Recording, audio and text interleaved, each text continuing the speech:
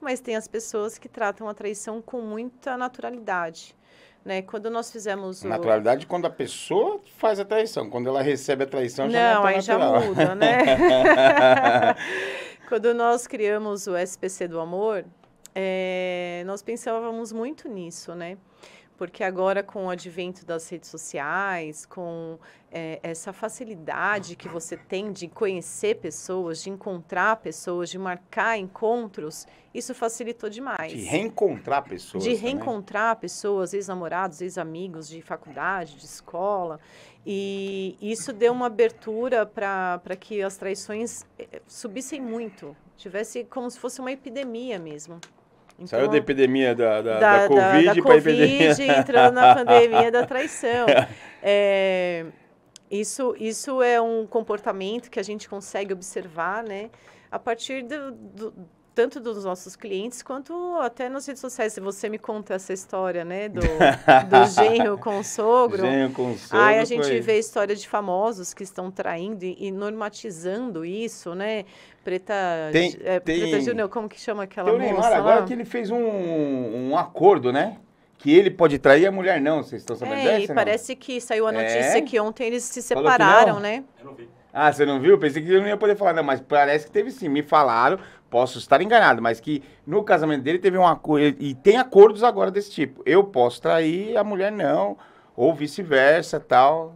É, então, aí isso, é, para quem tá ouvindo, né, isso é, é glamuroso. O cara é um ídolo, né? O cara é O cara um ídolo tem- mundial. Tem, tem, pode fazer o que quiser, né? Então, Não, é, não é, isso, é é isso que as pessoas estão apresentando hoje para a nossa geração, né?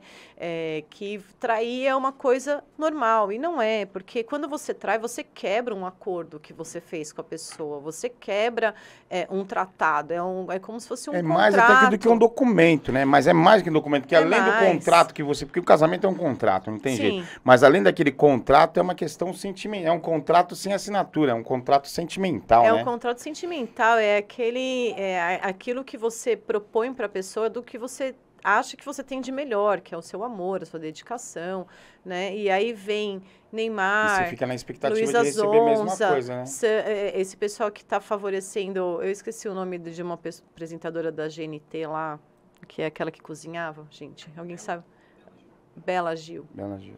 Ficou 20 anos com o marido dela e ela teve três relacionamentos, três namoros. Um foi longo. Ela disse, ela dizia assim, foi longo e profundo. Meu, isso não é legal. Então É termina. longo e profundo, dois, duas, dois com, com É. longevidade e profundidade. É. É, melhor ser que nem o, o Fábio Júnior e a Gretchen. Casa um monte de vez e pronto. Casa, pronto, descasa, é casa, sincero, descasa. entendeu? Pronto, pelo menos Não sincero, tem a né? traição, você não está quebrando a, a- confiança, você não está sendo roubado. Foi no quebrar seu o contrato, tempo. ó, cada um pro seu lado, tchau, vai lá, casa outra vez, pronto. Né? Você não está sendo roubado, você não está mentindo para outra pessoa, você não está sendo enganado, mas hoje a, pessoa- a- a mídia quer empurrar a goela abaixo, que isso é uma coisa De forma natural. natural, né?